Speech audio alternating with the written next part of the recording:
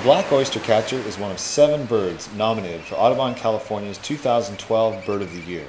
You can cast your vote for any one of the nominees or write in your own choice through December 7th. The black oyster catcher has long been something of a mystery, and that's why this year Audubon partnered with local chapters and others to study the bird in an effort to determine how to better protect it. What we're learning is going a long way toward ensuring a future for this bird on our coastline.